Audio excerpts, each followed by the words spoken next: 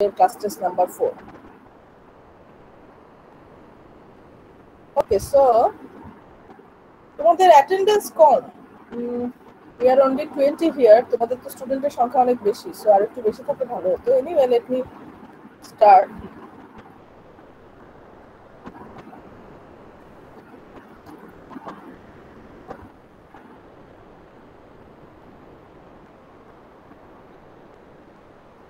আমি একটু শেয়ার করি ফাইলটা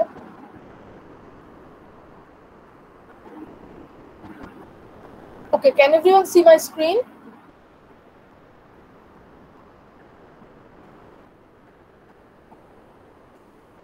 Can you see my screen? Yes, yes, ma'am. Yes. Okay, that's great. So, let's start from number one and go one by one. So, the number one question was Suppose you are going to design an intelligent agent that delivers food from kitchen to customer table in a restaurant.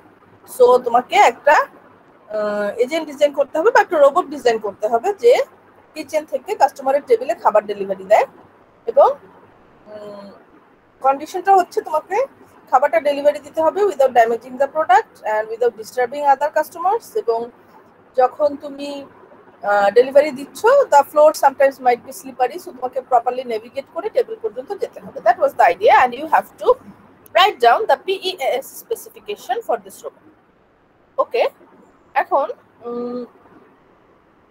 Performance measure environment agent আর sensor তো এটা আমার এটা তোমাদের অনেকেই properly answer করতে পেরেছ because it was not actually that difficult এখানে পারফরমেন্স মেজার হচ্ছে যে ফুড প্রপারলি ডেলিভার করতেছে কিনা কারেক্ট কাস্টমারের কাছে ডেলিভার করছে কিনা। So deliver food without damaging deliver food to right customer deliver food on time these are all actually the performance measures আচ্ছা এনভায়রনমেন্ট কি? এনভায়রনমেন্ট হচ্ছে গিয়ে টেবিল ফ্লোর ফুড ট্রে এগুলো কাস্টমার এগুলো সবই কিন্তু এনভায়রনমেন্টের মধ্যে পড়ে। কারণ এগুলো সবগুলোর সাথে রোবটকে ইন্টারাক্ট করতে হবে। What are the actuators here actuator হচ্ছে যে পার্টগুলো দিয়ে বা যে অ্যাপারেটাসগুলো দিয়ে রোবট কোনো একটা অ্যাকশন পারফর্ম করবে। Okay can everyone hear me Yes, ma'am. Okay okay so যেটা বলছিলাম যে অ্যাকচুয়েটার হচ্ছে যে পার্টগুলো দিয়ে বা যে অ্যাপারেটাসগুলো দিয়ে রোবট কোন একটা অ্যাকশন পারফর্ম করবে। তো এখানে অ্যাকশন বলতে আসলে বোঝায় হচ্ছে রোবটের মুভমেন্ট এবং সে যে ফুড ডেলিভারি দিচ্ছে সেটাই হচ্ছে তার অ্যাকশন। সো আমরা এখানে রোবট আর্মস অ্যান্ড লেগস বলতে পারি। আমরা চাইলে হুইলসও বলতে পারি, আমরা চাইলে রোবট আর্মস অ্যান্ড লেগসও বলতে পারি। ডিপেন্ডস অন যে রোবট কি লেগ দিয়ে হাঁটবে না করে যে আমরা আসলে কি বলব। আচ্ছা আর সেন্সর হচ্ছে গিয়ে যে যেটার মাধ্যমে রোবট এনভায়রনমেন্ট থেকে ইনফরমেশন রিসিভ করে। তো এখানে সেন্সর বলতে ক্যামেরা ডেফিনেটলি কারণ রোবটের তো একটা ভিজুয়াল সেন্সর লাগবে, তাকে তো দেখতে হবে যে সে কোথায় যাচ্ছে। এছাড়া ক্যামেরা আছে, আমরা চাইলে কোনো ধরনের টাচ সেন্সর বা টেক্সচার সেন্সর এরকম কিছু আমরা চাইলে ইউজ করতে পারি। So these are the sensor so তাহলে দেখা যাচ্ছে যে পারফরমেন্স হচ্ছে প্রপারলি ফুড ডেলিভারি করা এনভায়রনমেন্ট হচ্ছে টেবিল চেয়ার এগুলো টেবিল ফ্লোর এগুলো, আর অ্যাকচুয়েটার হচ্ছে হুইলস রোবট আর্মস আর সেন্সর হচ্ছে mainly the primary sensor here is camera আচ্ছা এখন তোমরা সবাই মোটামুটি এটা পেরেছ। বেশিরভাগ স্টুডেন্টকেই আমি বোধহয় দুইয়ে দুই দিয়েছি। যে অ্যাটলিস্ট একটা প্রপারলি লিখেছো, তাকেও কিন্তু আমি মার্কস দিয়েছি। বাট দ্য প্রবলেম ইজ অনেকে যেটা ভুল করেছ, সেটা হচ্ছে অ্যাকচুয়েটারটা ভুল করেছ। এখানে আমি দেখলাম যে অ্যাকচুয়েটারের ক্ষেত্রে অনেকে জাস্ট অ্যাকশনগুলো লিখে দিয়েছ। তো এটা ডিস্টিংগুইশ করতে হবে যে অ্যাকচুয়েটার আর অ্যাকশন তো সেম জিনিস না। অ্যাকশন মানে হচ্ছে আমি কোন কাজটা করব, আর অ্যাকচুয়েটার মানে হচ্ছে আমি কোন পার্ট বা কোন অ্যাপারেটাসের মাধ্যমে ওই কাজটা করব। So definitely this two are not not the same thing so আমাকে ডেফিনেটলি যে পার্টের মাধ্যমে বা যে অ্যাপারেটাসের মাধ্যমে আমি কাজটা করব, সেই অ্যাপারেটাসটার নামটা লিখতে হবে। That is known as the actuator আচ্ছা এটা ছিল এটা ছিল প্রবলেম নাম্বার ওয়ান আচ্ছা এখন আসি প্রবলেম নাম্বার টু তে। Problem number two problem number two এর ব্যাপারে আমি আসলে খুবই মানে কি বলব ডিসঅ্যাপয়েন্টেড তার কারণ হচ্ছে প্রবলেম নাম্বার টু তে তোমাদের ক্লাসের বেশিরভাগ স্টুডেন্ট সেম অ্যান্সার করেছ, একদম exactly same word by word copy এবং আমি সবাইকেই কপি লিখে লিখে মার্কস কেটে দিয়েছি। সো প্রবলেম নাম্বার টুতে খুব কম স্টুডেন্টকেই আমি মার্কস দিতে পেরেছি। এটা খুবই আনফর্চুনেট মানে এটা আমি, আমার এক্সপেক্টেড ছিল না। আরও অনেক কোশ্চেনই তোমরা কপি করেছ। আমি হয়তো সব কোশ্চেন ওইভাবে মার্কস কাটিও নাই। কারণ মার্কস কাটতে গিয়েও, কাটতে কাটতেও আমি টায়ার্ড হয়ে গেছি আসলে, যেটা বলা যায় যে আমার আর কপি কপি আবার চেক করার মতো আর এনার্জি ছিল না। But I think I have to be even more strict for the next exams কারণ তোমাদেরকে এত করে বলার পরও তোমাদের কপি টেন্ডেন্সিটা আসলে কমতেছে না। আমি তোমাদের ক্লাস থ্রি এর খাতা দেখা শুরু করেছি, সেখানেও অনেকটা সিমিলারই সিচুয়েশন বলা যায়। আচ্ছা যাই হোক, আমি অ্যান্সারটা বলে দিই। তো ম্যাপ অফ অস্ট্রেলিয়া এখানে সাতটা রিজিয়ন আছে। সাতটা রিজিয়নে এমনভাবে কালার করতে হবে যেন, চারটা কালার আছে রেড ব্লু গ্রিন ইয়েলো এমনভাবে কালার করতে হবে যেন প্রত্যেকটা রিজিয়ন মানে অ্যাডজাস্টেন্ট কোনো রিজিয়নে যেন সেম কালার না পড়ে। দ্যাটস দ্য আইডিয়া এবং এটা আমরা সিএসপি তে যেহেতু অলরেডি এটা নিয়ে অনেক ডিসকাস করেছি we are now familiar with this problem তো এই প্রবলেমটার একটা ফর্মাল ডেসক্রিপশন দিতে হবে। That means you have to formulate the problem তো আমরা কিন্তু ক্লাসে অনেকবার বলা হয়েছে, অনেক এক্সাম্পল দিয়ে দেখানো হয়েছে যে যখন আমরা একটা প্রবলেম ফর্মুলেট করি, আমাদের চারটা জিনিস স্পেসিফাই করতে হয়। প্রথমটা হচ্ছে স্টার্ট স্টেট দেন হচ্ছে the actions that we need to perform to change the state then the start sorry প্রথমে হচ্ছে স্টেট স্টেট ডেফিনিশন অর্থাৎ what variables make up the state second হচ্ছে অ্যাকশনস থার্ড হচ্ছে start state that is where we are starting from R fourth হচ্ছে goal test these are the four things we need to specify এখন এখানে state বলতে আমরা কিন্তু সাতটা variable দিয়ে স্টেট রিপ্রেজেন্ট করতে পারি। Since there are seven territories here এবং প্রত্যেকটা টেরিটরি যেহেতু চারটা করে কালার হোল্ড করতে পারে চারটা কালারের যে কোনো একটা আমরা অ্যাসাইন করতে পারি। So that's why we can actually represent the states using seven variables এবং যদি সাতটা ভ্যারিয়েবল দিয়ে রিপ্রেজেন্ট করি, সেক্ষেত্রে আমাদের স্টেট স্পেসের সাইজ হবে four to the power seven তো four to the power seven কারণ যেহেতু এখানে সাতটা রিজিয়ন আছে, তাই four to the power seven তো স্টেট স্পেসের সাইজ লেখাটা ম্যান্ডেটরি না বাট এটা সবার ক্লিয়ারলি লেখা উচিত ছিল যে we need seven variables to represent the state or the state can be represented using seven variables for the seven territories এরকম একটা লাইন লিখলেই কিন্তু হয়ে যেত, কিন্তু এটা মনে হয়, আমার মনে হয় ফাইভ পার্সেন্ট স্টুডেন্ট এটা লিখে নেয় আচ্ছা the next thing is actions তো এটা আসলে ডিপেন্ড করে আমরা প্রবলেমটা কীভাবে সলভ করব। তো আমরা যদি এরকম চিন্তা করে নেই যে অলরেডি কিছু কালার অ্যাসাইন করা আছে এবং আমাদের অ্যাকশন বলতে বোঝাচ্ছে আমরা যে কোনো একটা টেরিটরি বা একটা রিজিয়নের কালার চেঞ্জ করে ফেলব। তাহলে সেটাই আমরা অ্যাকশন হিসেবে লিখতে পারি। We need to change the colour of any one of the regions যে কোনো একটা রিজিয়নের কালার আমি চেঞ্জ করব। That is constitute as an action আচ্ছা স্টার্ট স্টেট স্টার্ট স্টেট বলতে বোঝায় আমরা যদি ধরে নিই যে শুরু থেকেই সবগুলো রিজিয়নেই কিছু কালার দেওয়া আছে, তাহলে স্টার্ট স্টেট হতে পারে any combination of colours for the region R goal test কি? গোল টেস্ট হচ্ছে no adjacent regions has the same colour goal টেস্টটা অনেকেই লিখতে পেরেছ, এটা ইউজুয়ালি সবাই পারেও। So goal test is no adjacent region can have the same colour so as simple as that state হচ্ছে গিয়ে seven variables require to represent the seven territories that is the state definition action হচ্ছে গিয়ে change the colour of any one of the regions start state হচ্ছে গিয়ে any combination of colours for all the regions goal test হচ্ছে গিয়ে no adjacent region can have the same color এভাবে কিন্তু আমরা state search প্রবলেমটাকে formulate করে ফেলতে পারি আচ্ছা এখন তারপরে সেই নাম্বার থ্রিতে any question so far Is there any question from anyone? Okay, can everyone hear me clearly? Yes, ma'am. Okay, so let me continue.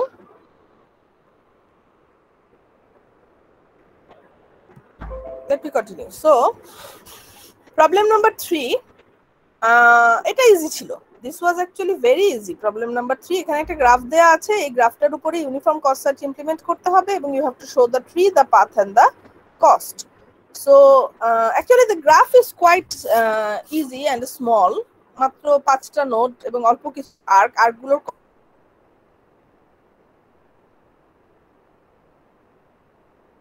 অনেক কম। So this was a pretty easy problem so আমি ডান দিকে যে এখানে যেতে পারি এতে তে কস আছে 1 জিতে তে কস আছে 2 তো আমরা একে চুজ করব এ থেকে আর কত দিতে পারি? তো দিতে যাওয়ার কিউমেট্রিক কস হচ্ছে ইয়েস কি বলেন বুঝতে গেছিল ও আচ্ছা আচ্ছা আচ্ছা just give me one second আমি একটু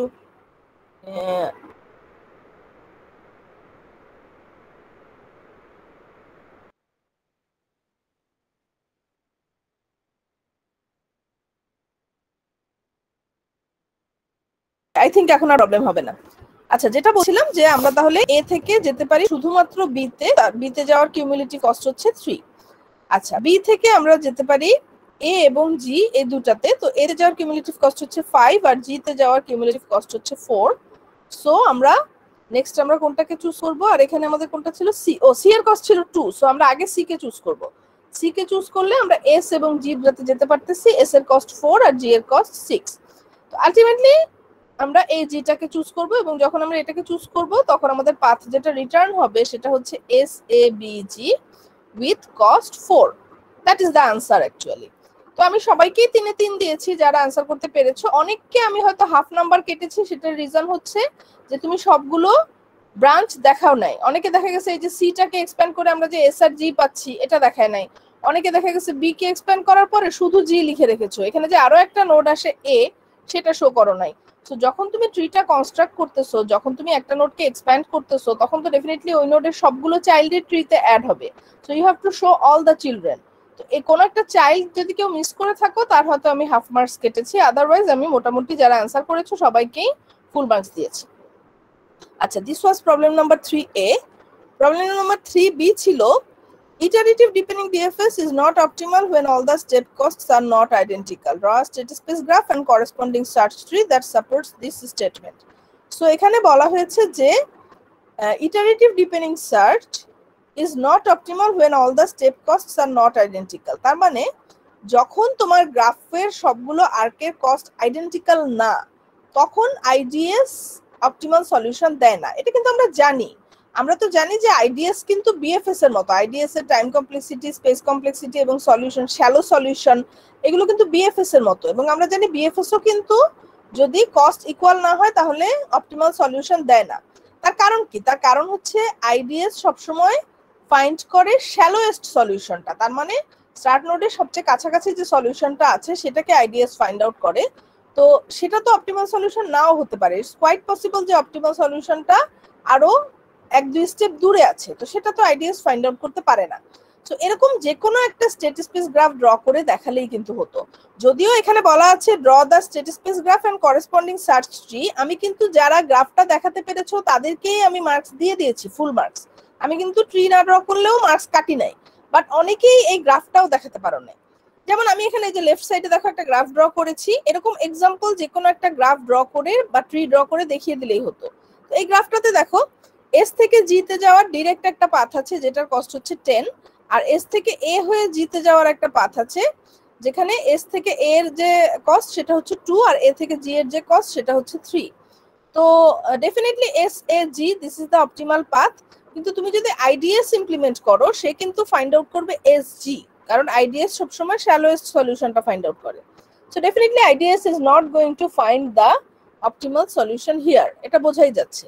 এরকম যে কোনো একটা এক্সাম্পল দেখালেই হতো। ইনফ্যাক্ট এই যে গ্রাফটা আছে, এর আগের কোশ্চেনের থ্রি এ কোশ্চেন থ্রি এর যে গ্রাফটা এটাও কিন্তু একটা এক্সাম্পল যেখানে আইডিএস অপটিমাল সলিউশন দিবে না। এখানে দেখো, আমরা আমাদের অপটিমাল সলিউশনটা হচ্ছে এস এ বি জি কিন্তু আইডিএস কিন্তু সলিউশন দিবে এস সিজি কারণ এস সিজিটা হচ্ছে শ্যালোয়ার তার মানে কম স্টেপ যাওয়া লাগে। কিন্তু অ্যাকচুয়ালি অপটিমাল সলিউশন কিন্তু S A B G so কেউ যদি এটা লিখতা যে কোয়েশ্চেন থ্রি এতে যে স্টেট স্পেস গ্রাফটা আছে that is also an example where IDS will not give the optimal solution তাহলেও কিন্তু আমি মার্কস দিয়ে দিতাম।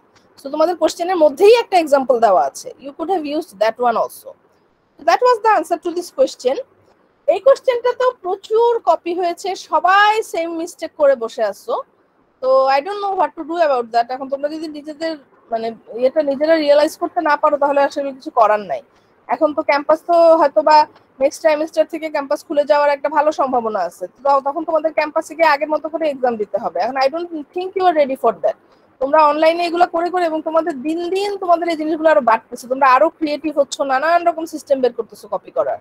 So this is not right তোমরা নিজেদের ক্ষতি করতেছো। Because you have to ultimately use the skills that you gain here in your career so তুমি যদি এখন এটা করো, আসলে তোমরা সবাই অ্যাডাল্ট সবাই তোমরা অনেক বুঝো তোমরা ইউনিভার্সিটি স্টুডেন্ট তো আমি আসলে বলেও কিছু করতে পারব বলে মনে হয় না। You have to think about what is best for you by yourself okay ma'am হ্যাঁ বলো। ভার্সিটি কবে খুলবে? আর হচ্ছে যে ম্যাম কোভিড নাইন্টিনের ভ্যাকসিন যারা দেয় নাই বা তারা ঢুকতে পারবে কিনা ম্যাম একটু বলবেন? এগুলো আমি আমি এখন বলতে পারব না কারণ এগুলো নিয়ে এখন পর্যন্ত কোনো কংক্রিট সিদ্ধান্ত হয় নাই। এবং যখন হবে ডিপার্টমেন্ট থেকে যখন জানানো হবে, তখন অবশ্যই তোমাদেরকেও জানানো হবে। আর যারা ভ্যাকসিন দেয় নাই, তারা ঢুকতে পারবে না, এটা তো পসিবল না। তোমরা ইউনিভার্সিটির স্টুডেন্ট তোমাদেরকে অবশ্যই আমরা যখন সার্ভিস দিব, আমরা তো সব স্টুডেন্টকেই দিব। আমরা তো আর ভ্যাকসিন দাও নাই দেখে তুমি আসতে পারবে না, এটা তো আর বলা যায় না, তাই না? এগুলোর ব্যাপারে কোনো কংক্রিট সিদ্ধান্ত এখনও হয় নাই। আসলে অনেক রকম ইস্যু আছে যেগুলো নিয়ে চিন্তা করা লাগে। তো মানে আমার আমার মনে হয় নেক্সট ট্রাইমেস্টারের আগে আমি আসলে আমার কাছে মনে হচ্ছে না যে খোলাটা হয়তো ফিজিবল হবে but that is just my personal opinion R university থেকে এখনও আমাদেরকে কিছুই বলা হয় নাই, কোনো ডিরেক্টিভ দেওয়া হয় নাই বাট ডেফিনেটলি মিটিং চলতেছে, প্রতিদিনই নানান রকম মিটিং হচ্ছে, যে কোনটা বেস্ট হবে whether they should open all classes or whether they should open only the labs or whatever সবকিছু নিয়েই ডিসকাশন চলতেছে, তবে তোমাদেরকে এনাফ টাইম রেখেই জানানো হবে। এমন না যে আজকে নোটিশ আসলো কালকে থেকে তোমাদের ক্লাস ইউনিভার্সিটিতে it will not be like that ঠিক আছে? তোমাদেরকে এনাফ টাইম দিয়েই তোমাদেরকে সময় দিয়েই জানানো হবে যে কবে থেকে ক্যাম্পাসে ক্লাস ওপেন হবে এবং কবে থেকে তোমাদের আসতে হবে। So I think it will be a while yet মানে এমন হবে না যে বারো তারিখ থেকে বলছে ওপেন করতে বারো তারিখ থেকেই তোমরা ক্লাসে আসো। আমার মনে হয় না যে সিচুয়েশনটা সেরকম দাঁড়াবে। So be patient be patient যখন হবে তখন তোমাদের সময় দিয়ে জানানো হবে। আর তোমরা সবাই ট্রাই করো যে ভ্যাকসিনেশনটা যেন করে ফেলতে পারো। এখন তো মানে try try your level best registration করে ফেলো, যে ভ্যাকসিনেশনটা করে ফেলো। আসলে আলটিমেটলি তো সব কিছুর জন্যই ভ্যাকসিনেশনটা আলটিমেটলি লাগবে। তো আমাদের ফ্যাকাল্টি অ্যান্ড স্টাফ আমরা কিন্তু মোটামুটি সবাই ভ্যাকসিনেটেড হয়ে গেছি। তো এখন তোমরা স্টুডেন্টরা যদি মোটামুটি ম্যাক্সিমাম যদি হয়ে যাও ইভেন ইফ সবাই না হলেও ম্যাক্সিমাম হলেও কিন্তু একটা ভালো ইমিউনিটি চলে আসে। So I hope it will be okay আমাদের তো আসলে শুধুমাত্র ভার্সিটি ছাড়া আর সবকিছুই তো ওপেন আছে। এমন তো না যে আমরা ঘরে বসে আছি। বাজার হাট ব্যাংক অফিস আদালত সবকিছুই কিন্তু চলতেছে। So I think we will be able to manage it when the campus open আচ্ছা সো নেক্সট কোয়েশ্চেনে আসি। Question four A suppose that for some specific problem heuristic function H is admissible is H square admissible how about root H আচ্ছা এই কোশ্চেনটা কিন্তু আমার কাছে মনে হয়েছিল কোশ্চেনটা ইজি তো আমার মনে হয় তোমরা যেটা করেছ, অনেকে মানে কোশ্চেনটা পুরোপুরি পড়ো নাই মনোযোগ দিয়ে।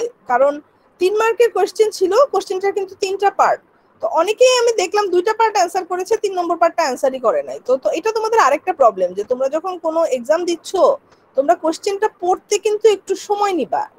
Try to read the question carefully before answering কারণ অনেক ভালো স্টুডেন্টও দেখা যায় যে কোশ্চেনটা প্রপারলি পড়ো নাই দেখে অ্যান্সারটা প্রপারলি দিতে পারো নাই। দেখো, তিনটা পার্ট ছিল। First part is is H square admissible এটা হচ্ছে ফার্স্ট পার্ট এটার অ্যান্সার কি? এইচ স্কোয়ার আমি অ্যাডমিসিবল বলতে পারব না। ইটস নট অ্যাডমিসিবল তার কারণ হচ্ছে যেহেতু এইচ স্কোয়ারটা এইচ এর চাইতে বড় সো ইটস কোয়াইট পসিবল যে এই ভ্যালুটা কিন্তু ট্রু কস্টকে ক্রস করে চলে যাবে। সো দ্যাটস ওয়াই এইচ স্কোয়ারকে অ্যাডমিসিবল বলা যাবে না। How about root over H root over H is admissible তার কারণ রুট ওভার এইচ তো সবসময়ই স্কোয়ার রুট অফ এইচ সবসময় এইচ এর চাইতে ছোট। এখন যেহেতু H admissible so definitely H এর চাইতে ছোট যে কোনো ভ্যালুও কিন্তু অ্যাডমিসিবল আচ্ছা তারপরের কোশ্চেনটা ছিল তিন নম্বর part if your answer is yes for any of this two functions would you prefer them over H তার মানে তুমি যদি এই দুটার যে কোনো একটাতে ইয়েস বলে থাকো, তার মানে অ্যাডমিসিবল বলে থাকো, তুমি কি সেটাকে এইচ এর চাইতে বেশি প্রেফার করবা কিনা? তো answer is no root over H admissible but root over H কে আমি এইচ এর চাইতে বেশি প্রেফার করব না। তার কারণ হচ্ছে since H is higher H is closer to the true cost since root over H is lower it's further away from the true cost তো আমরা কিন্তু সবসময়ই যদি আমাদের হাতে দুইটা অ্যাডমিসিবল ফাংশন থাকে, আমরা সবসময় বড়টাকে প্রেফার করি, কারণ বড়টা closer estimate to the true cost so definitely আমি এইচ কে প্রেফার করব, আমি রুট রুট এইচ কে প্রেফার করব না। That was the complete answer আচ্ছা। ম্যাম হ্যাঁ বলো। ম্যাম এখানে চারের এতে যেটা ম্যাম হ্যাঁ। এইচ ট্রু কস্ট যদি ম্যাম এইচ থেকে অনেক বেশি হয়। এইচ তো অ্যাডমিসিবল যদি এরকম বেশি ধরেন ট্রু কস্ট হলো ষোলো এইচ সাপোজ ফোর হ্যাঁ। তাহলে তো আমার এইচ স্কোয়ারও অ্যাডমিসিবল হয়। হ্যাঁ এটা যারা লিখেছো তাদেরকেও আমি মার্কস দিয়েছি। কেউ যদি এরকম লিখে থাকো যে এইচ স্কোয়ারের রেঞ্জটা যদি ট্রু কস্টের চাইতে স্মলার হয়, তাহলে এইচ স্কোয়ার অ্যাডমিসিবল হবে। তাকেও আমি মার্কস দিয়েছি। ঠিক আছে? বাট ইন জেনারেল তো এইচ স্কোয়ার অ্যাডমিসিবল হবে না। ট্রু কস্টটা যেহেতু আমরা জানি না ট্রু কস্টটা তো আমরা জানি না। ট্রু কস্টটা তুমি যে বলল ষোলো ষোলো হতে পারে, আবার এটা তো পাঁচও হতে পারে। We don't know the true cost so আমি যদি এমন একটা ফাংশন পাই যেটা আমার অ্যাডমিসিবল ফাংশনের চাইতে বড়, সেটাকে আমি কখনোই অ্যাডমিসিবল বলতে পারব না। ঠিক আছে? কারণ আমার কাছে তো নলেজ থাকতে হবে যে that is smaller than the true cost তো ট্রু কস্ট তো আমি জানি না, তাহলে এরকম নলেজ আমার কাছে আসবে কোথেকে হ্যাঁ যারা লিখেছো যে if H square is less than the true cost then we can say it is admissible তাদেরকেও কিন্তু আমি মার্কস দিয়েছি। যদিও that is also not the correct answer the correct answer will be H square is inadmissible কারণ আমি true কস্টটা জানি না। So আমি বলতে পারব না এটা অ্যাডমিসিবল আচ্ছা question number four B Prove that if H is consistent and n prime are two nodes on the path to goal and n prime is the successor of n, then fn less than equal to fn prime. এটা একেবারে text বুকের question text book থেকে তুলে দেওয়া তার মানে text বুকে এই প্রুফটা করে দেওয়া আছে এই প্রুফটা আমি তোমাদেরকে ক্লাসে একেবারে লাইন বাই লাইন করে দেখিয়ে দিয়েছি। সো এটা কিন্তু একেবারে স্লাইড থেকে আমার লেকচার থেকে টেক্সট বুক থেকে হুবহু কোশ্চেন এখানে কোনো ক্রিয়েটিভিটির কোনো ব্যাপার নাই। এই প্রুফটা তোমাদেরকে ক্লাসেও দেখানো হয়েছে তোমাদের বইতেও আছে। So you should have been able to do it যারা ক্লাসের লেকচারগুলো ফলো করেছ বা যারা টেক্সট বইটা পড়েছো তাদের জন্য এটা কোনো প্রবলেম হওয়ার কথা না। এবং অনেকেই পেরেছ এবং আমি জানি যারা পেরেছ তাদের মধ্যে এইটটি পার্সেন্ট কপি করেছ but I had nothing to do এটা আসলে কপি করার মতোই question okay so question number five A consider the sorry just moment consider the eight puzzle problem oh, oh what's wrong? One moment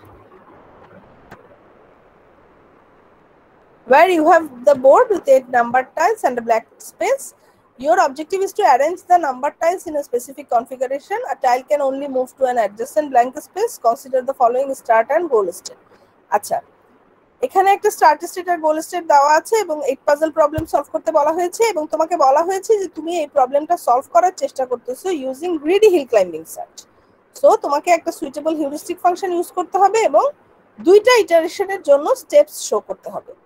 আচ্ছা greedy hill climbing search তার মানে first thing to do is to determine the heuristic function প্রথম কাজ হচ্ছে আমি heuristic function হিসেবে কি use করব সেটা ডিটারমাইন করা।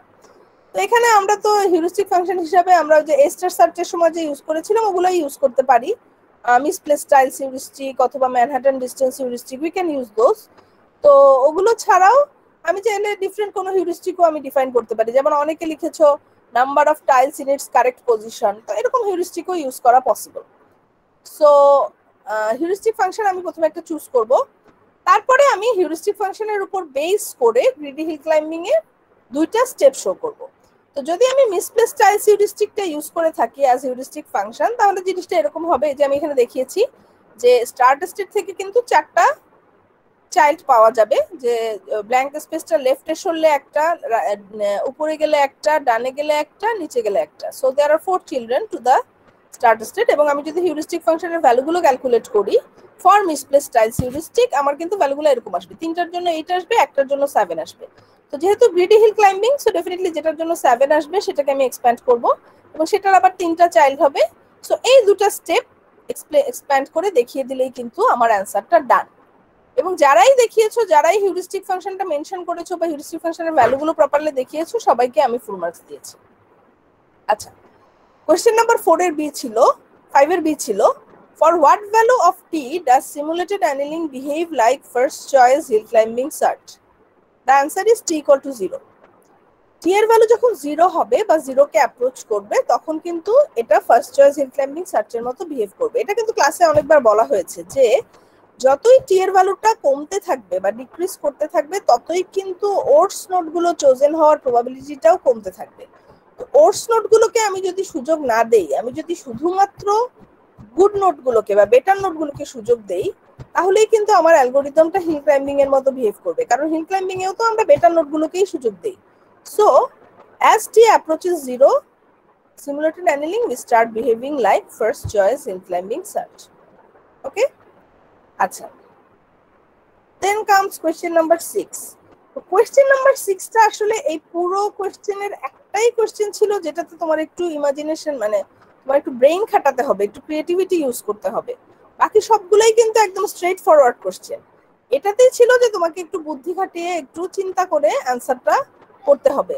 কিন্তু আমি মানে খুব কম স্টুডেন্টই হান্ড্রেড পার্সেন্ট কমপ্লিট অ্যান্সার দিতে পেরেছে। এবং অনেকেই দেখা গেছে যে ভুল করছে বাট এটা আসলে এতটা ভুল হওয়ার কথা ছিল না। কারণ আমি তো এখানে তোমাকে আলফাবেটের ভ্যালুও দেখাতে বলি নাই। আমি জাস্ট দেখাতে বলেছি যে এ বি আর সি এর ভ্যালু কত হলে আমি যে রেড কালার দিয়ে যে প্রুনিংগুলো দেখিয়েছি, এই প্রুনিংগুলো হবে। দ্যাট ওয়াজ দ্য কোয়েশ্চেন তো এত বেশি কঠিনও ছিল না বাট স্টিল এই কোয়েশ্চেনটা অনেকেই দেখা গেছে মিস করে গেছে প্রপারলি অ্যান্সার করতে পারে নাই। So let me explain the question so প্রথমে এতে আসি, প্রথমে শুরু থেকে আসি।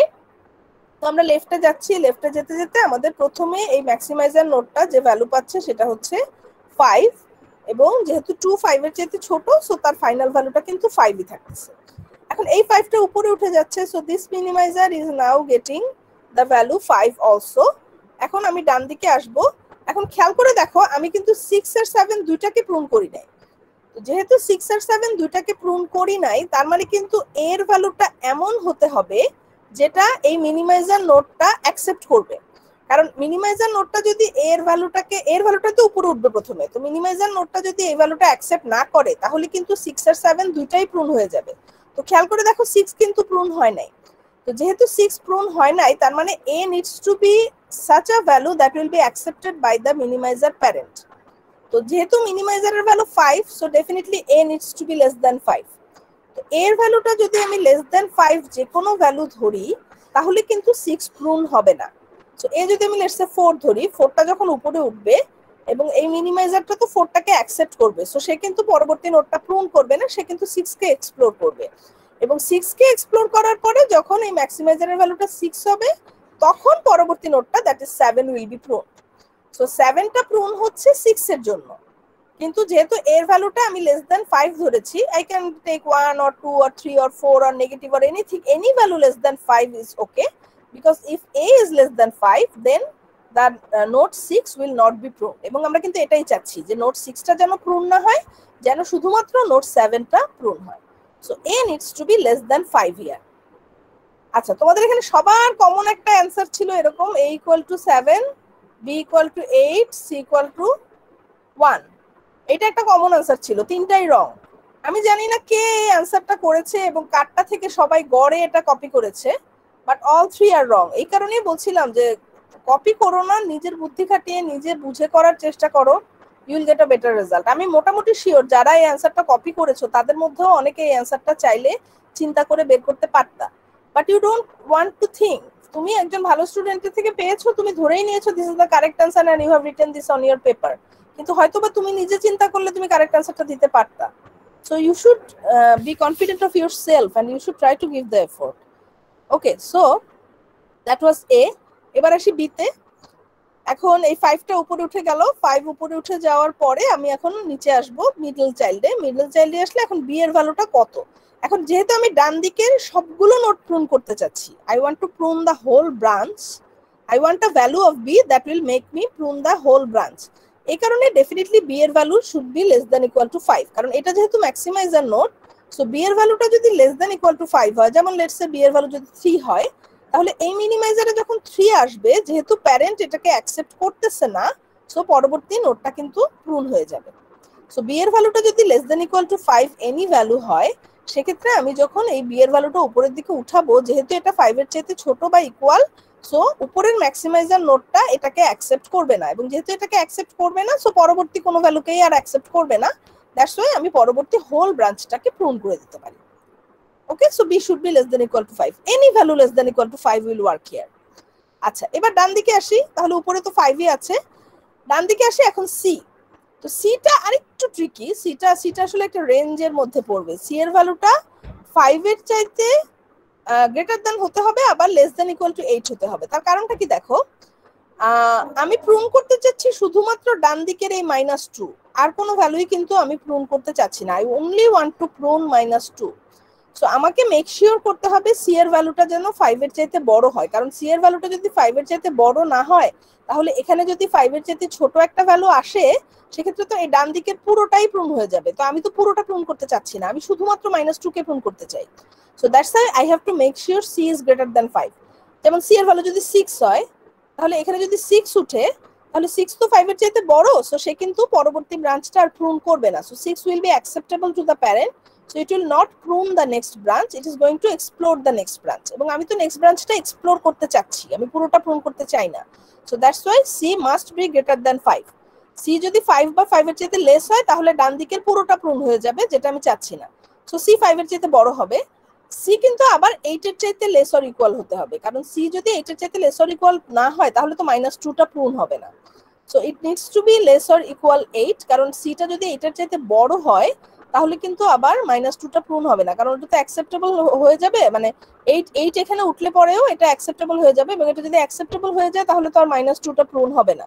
So I have to make sure eight becomes unacceptable to the parent so that minus two is pruned so এখানে দুইটা ব্যাপার আছে। একটা হচ্ছে সি ফাইভের চাইতে বড় হতে হবে, যাতে করে এই ব্রাঞ্চটা এই অংশটা অ্যাকসেপ্টেড হয়। আর সি এইটার চাইতে ছোট আর ইকুয়াল হতে হবে, যাতে করে এইটা এইট ভ্যালুটা যাতে অ্যাকসেপ্টেড না হয়। Okay so I have to give a value of c that is in this range. So, c can be either 6 or 7 or 8 c এই তিনটার মধ্যে যে কোনো একটা ভ্যালু হতে হবে। So that was the answer তো, আমি তো এখানে কমপ্লিটলি অ্যানালাইসিস করে বুঝিয়ে দিলাম। এখন কেউ যদি এরকম অ্যানালাইসিস নাও করো, তুমি যদি যেমন ধরো তুমি একটা পার্ট বুঝতে পারলা, তুমি ভ্যালুটা বসাইলা ভ্যালুটা বসায় তুমি একবার চিন্তা করে দেখলা যে প্রুনিংটা প্রপারলি হচ্ছে কিনা, সেভাবেও কিন্তু অ্যান্সার করা পসিবল ঠিক আছে? একটু এফোর্ট দিলেই আমার মনে হয় এই অ্যান্সারটা সবাই করতে পারতা, কিন্তু সেটা না করে সবাই যেটা করেছ সেটা হচ্ছে কোনো একজনের স্ক্রিপ্ট থেকে এটা কপি করার চেষ্টা করেছ এবং যার স্ক্রিপ্ট থেকে কপি করেছ সে ভুল করেছে। সো অ্যাবাউট ফিফটি পার্সেন্ট স্টুডেন্টের এই অ্যান্সারটা রং হয়েছে। সবার answer same seven eight one আমাদের কিন্তু ডিপার্টমেন্ট থেকে বলে দেওয়া হয়েছে যে, যদি দেখা যায় যে খাতার মধ্যে significant number of question copy তাহলে পুরো খাতার মধ্যেই জিরো দিয়ে দেওয়া। ঠিক আছে? তো আমরা অনেক ফ্যাকাল্টিরাই এই জিনিসটা ফলো করি না। কারণ এটা ফলো করলে আসলে অনেক স্টুডেন্টই ফেল করে যাবে। কিন্তু আমার মনে হয় আসলে ফলো করা শুরু করতে হবে। তার কারণ হচ্ছে যে তোমাদের মানে দিন দিন এটা ইনক্রিজ করতেছে। বললাম তো, যে তোমরা প্রথম দিকে হয়তো এতটা কপি করতে পারতা না। এখন আমরা যতই তোমাদের বুঝাই, যতই চেষ্টা করি it is increasing day by day তো এইভাবে তো চলতে পারে না, তাই না? যে তুমি এভাবে কপি করে মার্কস নিয়ে, তুমি এই মার্কস দিয়ে তুমি ইন ফিউচার কি করবা? কিছুই করতে পারবা না। মানে আমি এরকম অসংখ্য এক্সাম্পল দেখেছি যে কোনো একজন স্টুডেন্টের সিজিপিএ লো কিন্তু সে তার ক্যারিয়ারে গিয়ে অনেক হাই অ্যাচিভমেন্টস করতে পারতেছে because he has learn the skills আবার অনেক স্টুডেন্টের আছে সিজিপিএ খুব হাই কিন্তু সে কিছুই করতে পারতেছে না, কারণ সে কোনোভাবে কপি করে বা আনফেয়ার মিনস অ্যাপ্লাই করে সে সিজিপিএটা আর্ন করেছে। তো সেটা তো মানে অ্যাকসেপ্টেবল হতে পারে না, তাই না? আমরা সবাই চাই যে আমরা স্কিলটা লার্ন করি, যাতে করে আমরা এই স্কিলটা কাজে লাগাতে পারি। So please keep that in mind and please try not to copy from others অন্যেরটা কপি করো না, তুমি নিজে স্টাডি করো। স্টাডি করে তারপরে তুমি অ্যানালাইসিস করে তুমি নিজে বোঝার চেষ্টা করো, কারণ তোমাকে তো এই নলেজগুলো পরবর্তী কোর্সগুলোতে গিয়েও কাজে লাগাতে হবে। তো এখন তুমি শর্টকাট নিলা, তুমি পরবর্তী কোর্সগুলোতে গিয়ে কি করবা? What will you do next তোমার তো এই নলেজের ল্যাকটা থেকেই যাবে, তাই না? So please don't do that in future okay আচ্ছা কারও কোনো question any question okay so যদি এটা আমরা বুঝে থাকি তাহলে আমি এখন হ্যাঁ হ্যাঁ বলো বলো। ম্যাম নেক্সট ক্লাস টেস্টের ব্যাপারে যদি বলতেন। নেক্সট ক্লাস টেস্টে ম্যাম ডিক্লেয়ার করছেন? আর করলে বা না আমি করি নাই আমি করি নাই। আমি আজকের লেকচারটা শেষ করি তারপরে নেক্সট ক্লাস টেস্ট ডিক্লেয়ার করে দিব। ওকে আচ্ছা আমি ক্লাস শুরু করব। Take a one minute break এক মিনিটের একটা ব্রেক নাও, তারপরে আমি সিএসপি শুরু করব। আমাদের সিএসপির খুব বেশি বাকি নাই, অল্পই বাকি আছে। After I finish that I will declare when the next class test is going to be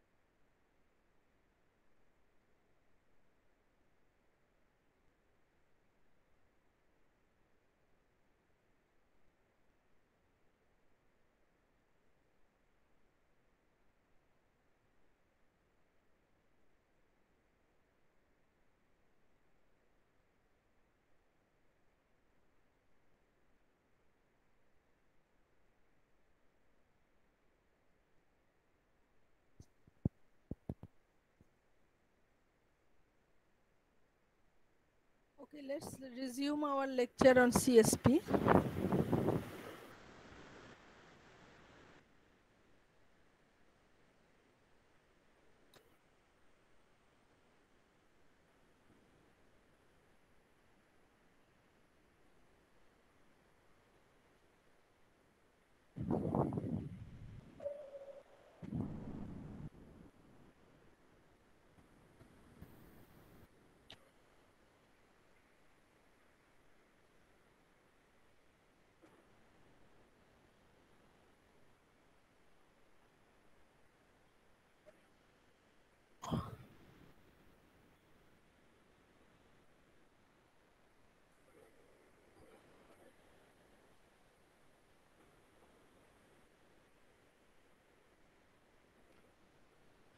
Okay, can everyone see the slide?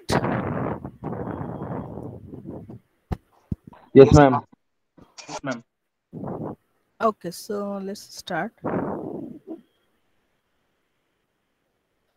So, uh, in the last class, we were uh, looking at solving CSPs, and the algorithm we were looking at is known as backtracking search algorithm.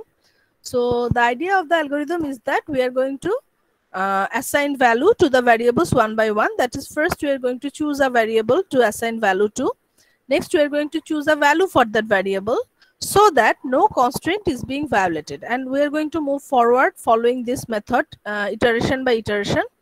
So whenever we face a situation where we have chosen a variable for assignment, but that variable actually has no legal values remaining in its domain. If we face such a situation, uh, we are going to have to backtrack.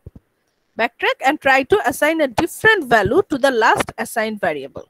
So আইডিয়াটা হচ্ছে আমরা একটা করে ভ্যারিয়েবলে value assign করে সামনের দিকে যেতে থাকব যখনই এমন সিচুয়েশন হবে যে কোনো একটা ভ্যারিয়েবলে অ্যাসাইন করার জন্য কোনো লিগ্যাল ভ্যালু পাওয়া যাচ্ছে না আমরা ব্যাকট্র্যাক করে প্রিভিয়াসলি যে ভ্যারিয়েবলে ভ্যালু অ্যাসাইন করেছিলাম সেটাকে চেঞ্জ করে অন্য একটা ভ্যালু অ্যাসাইন করার চেষ্টা করব that was the idea and the last thing we saw in the last class was filtering or forward checking. আচ্ছা আমি ঠিক বলতেছি তো? আমি তোমাদের এই পর্যন্ত পড়িয়েছি তো তাই না? জি ম্যাম এতটুকু হয়েছে। ওকে ওকে ওকে না আমি আসলে দুইটা সেকশনের ক্লাস নেই তো মাঝে মাঝে একটু হঠাৎ করে কনফিউশন লাগে যে আমি কি আসলে পড়িয়েছি না অন্য সেকশনে পড়ালাম।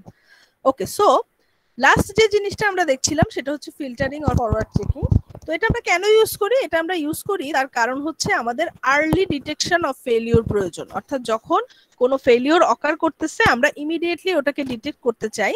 আমরা চাই না যে কোনো একটা ফেলিওর অকার করার পরেও আমরা আরও আট দশটা ইটারেশন পার হয়ে গিয়ে ওই ফেলিওরটাকে ধরি। সেক্ষেত্রে আমাদের আবার ওই আট দশ ইটারেশন ব্যাকট্র্যাক করে আসতে হবে। So early detection of failure ফেলিওরের জন্য আমরা যে মেথডটা ইউজ করে থাকি, সেই মেথডটা হচ্ছে ফরওয়ার্ড চেকিং ফরওয়ার্ড চেকিং এর আইডিয়াটা হচ্ছে এমন যে আমরা যখন কোনো ভ্যারিয়েবলে ভ্যালু অ্যাসাইন করতেছি, আমরা ইমিডিয়েটলি কনস্ট্যান্ট লিস্টটা চেক করে দেখব whether any other variable is affected being affected by this decision তো যদি দেখা যায় আশেপাশের বা অন্য কোনো অ্যাডজাসেন্ট ভ্যারিয়েবলের এফেক্টেড হবে দ্যাট ইজ কোনো একটা ভ্যালু ইলিগাল হয়ে যাবে ফর এনি আনঅ্যাসাইন ভ্যারিয়েবল তাহলে সেই ইলিগাল ভ্যালুটাকে আমরা ওই ভ্যারিয়েবলের ডোমেইন থেকে সরিয়ে দেব। That is the idea used in forward checking so let's see how it works for the map colouring problem so let's say আমরা ইনিশিয়ালি একটা এমটি ম্যাপ থেকে শুরু করতেছি এবং একদম শুরুতে কিন্তু সবগুলো ভ্যারিয়েবলের ডোমেইনে তিনটা করেই কালার আছে, সেটা হচ্ছে রেড গ্রিন অ্যান্ড ব্লু এখন আমরা চিন্তা করলাম যে আমরা ওয়েস্টার্ন অস্ট্রেলিয়াতে রেড কালার অ্যাসাইন করব। We have decided to assign the colour red to Western Australia এখন খেয়াল করে দেখো ওয়েস্টার্ন অস্ট্রেলিয়ার অ্যাডজাসেন্ট হচ্ছে নর্দার্ন টেরিটরি আচ্ছা জাস্ট ওয়ান মোমেন্ট পেনটা সো ওয়েস্টার্ন অস্ট্রেলিয়ার অ্যাডজাসেন্ট হচ্ছে নর্দার্ন টেরিটরি ওয়েস্টার্ন অস্ট্রেলিয়ার অ্যাডজাসেন্ট হচ্ছে সাউথ অস্ট্রেলিয়া তো যেহেতু নর্দার্ন টেরিটরি এবং সাউথ অস্ট্রেলিয়া ওয়েস্টার্ন অস্ট্রেলিয়ার অ্যাডজাসেন্ট সো এই দুটার কোনোটাতেই আমি কিন্তু আর রেড কালার দিতে পারব না। Red colour has become illegal for this two regions so that's why I have to remove the color red from the domain of Northern Territory and from the domain of South Australia.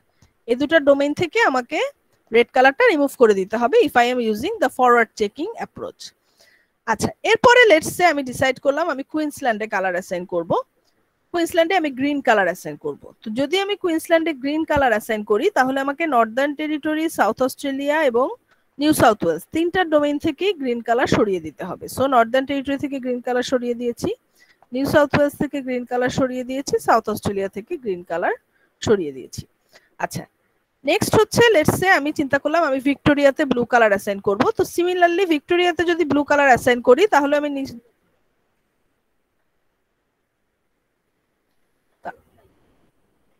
তাহলে New south Wales থেকেও blue colour সরিয়ে দিতে South Australia থেকেও blue colour সরিয়ে দিতে হবে, কারণ এই দুটো ভিক্টোরিয়ার অ্যাডজাস্টেন্ট সো দেখা যাচ্ছে যে যদি আমরা ফরওয়ার্ড চেকিং ইমপ্লিমেন্ট করি, তাহলে আমরা কোনো একটা ভ্যারিয়েবলে ভ্যালু অ্যাসাইন করা মাত্রই ওই ভ্যালুর কারণে অন্য যে ভ্যারিয়েবলগুলো এফেক্টেড হচ্ছে, সেগুলোর ডোমেইনকে আমরা আপডেট করে ফেলতেছি তো আপডেট করার পরে দেখা গেল যখন এই যে সাউথ অস্ট্রেলিয়ার ডোমেইনটা এমটি হয়ে যাচ্ছে, তখনই কিন্তু আমরা বুঝে ফেলব যে failure has occurred and we need to backtrack. Whenever the domain of a variable becomes empty, we will know that uh, uh, a failure has occurred and we need to backtrack immediately. Okay, so that is the strategy used in forward checking. Forward checking use করলে আমি কিন্তু failure হওয়া মাত্রই ধরে ফেলতে পারতেছি যে failure হয়েছে এবং আমাকে এখনই backtrack করে যেতে হবে আমি কিন্তু সাউথ অস্ট্রেলিয়াকে এখনও অ্যাসাইনমেন্টের জন্য চুজ করি নাই সো ফরওয়ার্ড চেকিং ইউজ না করলে আমি কিন্তু এখানে ধরতে পারতাম না যে ফেলিওর হয়েছে। আমাকে ওয়েট করতে হতো যতক্ষণ পর্যন্ত আমি সাউথ অস্ট্রেলিয়াকে চুজ না করতেছি। But since I am using forward checking I am I can catch the failure early as soon as it happens so that is how forward checking might help us make the algorithm more efficient আমার কিন্তু backtracking অনেক কম করা লাগবে কারণ আমি ফেলিওরটা খুব দ্রুত ধরে ফেলতে পারতেছি। আচ্ছা এই পর্যন্ত আমরা কিন্তু লাস্ট ক্লাসে দেখেছিলাম। তো আজকের ক্লাসে এখন এখান থেকে কন্টিনিউ করব। এখন আমরা তো ফিল্টারিং এর একটা অ্যাপ্রোচ দেখলাম ফরওয়ার্ড চেকিং ফিল্টারিং এর আরেকটা অ্যাপ্রোচ আছে, যেটাকে বলা হয় কনস্ট্রেইন্ট প্রোপাগেশন তো কনস্ট্রেইন্ট প্রোপাগেশনটা ফরওয়ার্ড চেকিং এর চাইতেও একটু stronger it's a bit more strong than forward checking এটা আরেকটু কঠিন। তো কেন প্রয়োজন? Why do you need constraint propagation কেন প্রয়োজন সেটা আমি বোঝাচ্ছি, দেখো।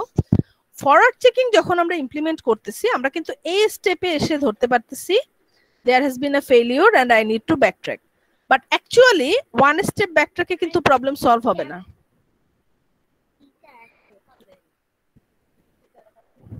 আচ্ছা ওয়ান স্টেপ ব্যাকট্র্যাকে কিন্তু প্রবলেমটা সলভ হবে না। প্রবলেমটা সলভ হবে না এই কারণে দেখো প্রবলেমটা কিন্তু আসলে ভিক্টোরিয়ার জন্য হয় নাই। আমরা তো ভিক্টোরিয়াতে যখন ব্লু কালার অ্যাসাইন করলাম, তখন আমাদের সাউথ অস্ট্রেলিয়ার ডোমেইনটা এমটি হয়ে গেল। কিন্তু অ্যাকচুয়ালি কিন্তু প্রবলেমটা এর আগের স্টেপেই হয়েছে। খেয়াল করে দেখো এই যে আগের স্টেপে অর্থাৎ আমি যদি এই স্টেপে ব্যাক করি নর্দার্ন টেরিটরির ডোমেইনে একটা কালার আছে ব্লু সাউথ অস্ট্রেলিয়ার ডোমেইনেও অনলি একটা কালার আছে যেটা হচ্ছে ব্লু এটা তো পসিবল না। নর্দার্ন টেরিটরি আর সাউথ অস্ট্রেলিয়া দুজনের ডোমেইনেই শুধুমাত্র ব্লু কালার আছে এবং আমরা জানি there is a constraint Northern Territory not equal to South Australia এরকম একটা কনস্ট্রেন্ট আছে, কারণ নর্দার্ন টেরিটরি এবং সাউথ অস্ট্রেলিয়া বর্ডার শেয়ার করে। তারা অ্যাডজাসেন্ট সো দুটার ডোমেইনেই যে যদি শুধুমাত্র ব্লু কালার রিমেইনিং থাকে, এটা তো কখনোই আমাকে সলিউশনের দিকে নিয়ে যাবে না। তাই না? I have to do something about it এখন, এই স্টেপে তো আমি প্রবলেমটা ধরতে পারি নাই। কারণ ফরওয়ার্ড চেকিং প্রবলেমটা ধরতে পারবে শুধুমাত্র যখন ডোমেইন এমটি হবে তখন নট বিফোর দ্যাট তো আমার তো এর পরের স্টেপে ডোমেইনটা এমটি হয়েছে। এখন আমি যখন ব্যাকট্র্যাক করব প্রবলেম কিন্তু সলভ হবে না। আমি যদি ব্যাকট্র্যাক করে, আমি যদি এখন ভিক্টোরিয়ার জন্য গ্রিন কালার দেই the problem will not be solved আমি যদি ভিক্টোরিয়ার জন্য রেড কালার দেই problem will not be solve এই প্রবলেমটা কিন্তু থেকেই যাবে যে নর্দার্ন টেরিটরি এবং সাউথ অস্ট্রেলিয়াতে দুটাতেই ব্লু কালার এবং এই দুইটাতে একসাথে ব্লু কালার দেওয়া যাবে না। আমি একটাতে ব্লু দিলে অন্যটার ডোমেইন এমটি হয়ে যাবে। So the problem will remain so forward checking যদিও আর্লি ফেলিওর ডিটেক্ট করতেছে বাট নট আর্লি এনাফ আমি যদি আরও এক স্টেপ আগে ফেলিওরটা ডিটেক্ট করতে পারতাম তাহলে কিন্তু আমার ব্যাকট্রেকিং আরও অনেক কম লাগতো। কারণ এখন কিন্তু ফরওয়ার্ড চেকিং যদিও প্রবলেমটা পরের স্টেপে ধরেছে, তারপরও কিন্তু ব্যাকট্রেকিং লাগবে। কারণ এই এই প্রবলেমটা যে আসলে এর আগের স্টেপে হয়েছে এটা ধরতে কিন্তু টাইম লেগে যাবে। Forward checking can not catch this so early so এই কারণে আমরা আরেকটু স্ট্রঙ্গার একটা অ্যাপ্রোচ ইউজ করতে পারি ফিল্টারিং এর, যেটাকে বলা হয় constraint propagation yes yes forward checking works well better than using the basic form of backtracking but constant propagation works even better তো কনস্ট্যান্ট প্রোপাগেশনের আইডিয়াটা কি দেখো? কনস্ট্যান্ট প্রোপাগেশনের আইডিয়াটা হচ্ছে যে আমি শুধুমাত্র যে ভ্যারিয়েবল গুলোতে ভ্যালু অ্যাসাইন করতেছি, তার অ্যাডজাসেন্টগুলো না, আমি অ্যাকচুয়ালি সবগুলো কনস্ট্যান্টই চেক করব। After assigning value to any variable I will check all the constraints in the constant list to make sure there is a pair of values that can fulfil that constraint আমি বুঝিয়ে দিচ্ছি ব্যাপারটা কীরকম? Let's আমার constraint লিস্টটা হচ্ছে এরকম যে W A not equal to N T W A not equal to S A তারপরে N T not equal to S A then হয়তো এরকম আছে N T not equal to Q then আছে এরকম অসংখ্য কনস্টেন্ট আছে। আমার বোধ আমার মনে হয় বারো তেরো, চোদ্দ বা পনেরোটা কনস্টেন্ট আছে ফর দিস প্রবলেম এখন আমরা যখন ডাব্লিউ এ তে রেড কালার অ্যাসাইন করতেছি ফরওয়ার্ড চেকিং এর ক্ষেত্রে আমরা কিন্তু শুধুমাত্র এই দুটা কনস্ট্রেন্ট চেক করেছি, অর্থাৎ the constraints that involve W A আমি যখন ডাব্লিউ এ তে রেড কালার অ্যাসাইন করতেছি, আমি শুধুমাত্র ওই কনস্ট্রেন্টগুলো চেক করতেছি যেগুলো ডাব্লিউ এ কে ইনভলভ করে এবং চেক করে আমি এনটি এবং এস এর ডোমেইন আপডেট করে দিচ্ছি। বাট যদি আমি কনস্ট্রেন্ট প্রপাগেশন ইউজ করি, সেক্ষেত্রে I will check all of them so forward checking use করলে আমি শুধুমাত্র ওই কনস্ট্রেন্টগুলো চেক করি যেগুলো আমার কারেন্ট ভ্যারিয়েবলটাকে ইনভলভ করে। কিন্তু যখন আমি কনস্ট্রেন্ট প্রপাগেশন ইউজ করব, তখন প্রতি স্টেপে আমি সবগুলো কনস্ট্রেন্টকে একবার করে লুক ওভার করব। তো লুক ওভার করে আমি কি দেখব? আমি যেটা দেখব সেটা হচ্ছে যে কনস্ট্রেন্ট গুলোকে ফুলফিল করার মতো ভ্যালু ওই ভ্যারিয়েবলগুলোর ডোমেইনে আছে কিনা। Can I find a pair of values that will fulfil that constraint এই জিনিসটা আমি চেক করব। ওকে এখন আমি যখন কুইন্সল্যান্ডে গ্রিন অ্যাসাইন করলাম, কুইন্সল্যান্ডে গ্রিন অ্যাসাইন করার পরে আমার ভ্যারিয়েবলগুলোর ডোমেইনের এই অবস্থা দাঁড়াল। তো আমি যখন NT not equal to S A এই কনস্ট্যান্টটা চেক করতে যাব নর্মালি কিন্তু ফরওয়ার্ড চেকিং ইউজ করলে আমি এই কনস্ট্যান্টটা চেক করতাম না, কারণ এখানে তো কুইন্সল্যান্ড ইনভলভ না। কিন্তু যখন আমি কনস্ট্যান্ট প্রপাগেশন ইউজ করব, আমি কিন্তু এই কনস্ট্যান্টটা চেক করব। এটা চেক করতে গিয়ে আমি দেখতেছি যে এনটির ডোমেইনে একটাই ভ্যালু আছে ব্লু সো এনটিকে আমার ব্লু দিতেই হবে। তো ব্লু দিলে এখন তার করেসপন্ডিং সাউথ অস্ট্রেলিয়ার কি কোনো লিগাল ভ্যালু রিমেইনিং আছে? That is what I am going to check so প্রত্যেকটা কনস্ট্রেন্ট ধরে আমাকে চেক করতে হবে যে ওই কনস্ট্রেন্ট গুলোতে যে ভ্যারিয়েবল ইনভলভ তাদের আমি এমন একটা কম্বিনেশন পাই কিনা যেটা ওই কনস্ট্রেন্টটাকে ফুলফিল করবে। সো এন্টির ডোমেইনে যেহেতু শুধুমাত্র ব্লু আছে, আমার এন্টিকে ব্লু দিতেই হবে। I want to find a value for S A that is going to fulfil this constraint তো আমি চেক করতে গিয়ে দেখব যে এস এর ডোমেইনে এমন কোনো ভ্যালু নাই যেটা এই কনস্ট্রেন্টকে ফুলফিল করবে। কারণ এস এর ডোমেইনেও শুধুমাত্র ব্লুই রিমেইনিং আছে এবং ব্লু দিলে তো আর এই কনস্ট্রেন্টটা স্যাটিসফাই হবে না। সো আমি বুঝতে পারব there failure has occurred and I am immediately going to backtrack so যদি আমরা ফরওয়ার্ড চেকিং ইউজ করি, আমরা শুধুমাত্র ডোমেইন এমটি হলে বুঝতে পারব ফেলিওর অকার করেছে। বাট যদি আমরা কনস্ট্যান্ট প্রপাগেশন ইউজ করি, তাহলে যখনই এরকম একটা সিচুয়েশন হবে যে একটা ভ্যারিয়েবলের জন্য অন্য ভ্যারিয়েবলের লিগ্যাল ভ্যালু অ্যাসাইন করা যাচ্ছে না, তখনই আমরা বুঝতে পারব ফেলিওর হয়েছে এবং আমরা ইমিডিয়েটলি ব্যাকট্র্যাক করতে পারব। সো কনস্ট্যান্ট প্রপাগেশন ইউজ করলে সাধারণত একবারের বেশি ব্যাকট্র্যাক করার প্রয়োজন হয় না, কারণ আমরা তো ফেলিওরটা একদম গোড়ায় ধরে ফেলতে পারতেছি। বাট ফরওয়ার্ড চেকিং এও আমরা ধরতে পারতেছি but still it might be a little bit later later than we want okay এখন তোমাদের এক্সামে যদি সিমুলেশন চাওয়া হয় ব্যাকট্র্যাকিং সার্চের তোমরা ফরওয়ার্ড চেকিংটা দেখালেই হবে। কারণ কনস্ট্যান্ট প্রপাগেশনটা আসলে সিমুলেশন দিয়ে দেখানোটা খুবই ডিফিকাল্ট কারণ এখানে তো প্রত্যেকটা কনস্ট্যান্টের লিগ্যাল ভ্যালু চেক করা লাগে। সো যদি সিমুলেশন চাওয়া হয়, তাহলে তোমাদের ফরওয়ার্ড চেকিংই চাওয়া হবে। কনস্ট্যান্ট এর simulation আমি চাইব না। You don't need to learn the simulation for constant propagation. It's difficult to show on pen and paper. So, তোমরা, তোমাদের এক্সামে যদি চাওয়া হয়, তাহলে ফরওয়ার্ড চেকিং এর সিমুলেশনটাই চাওয়া হবে। এবং কনস্ট্যান্ট প্রপাগেশনটা তোমরা কনসেপ্টটা বুঝবা কনস্ট্যান্ট প্রপাগেশন থেকে যদি কোশ্চেন আসে হয়তো বা কনসেপচুয়াল কোশ্চেন আসতে পারে তাহলে আমরা ফিল্টারিং এর দুইটা অ্যাপ্রোচ দেখলাম একটা হচ্ছে ফরওয়ার্ড চেকিং আর একটা হচ্ছে constant propagation any question from anyone about this two approaches Did everyone understand? Is there any question from anyone?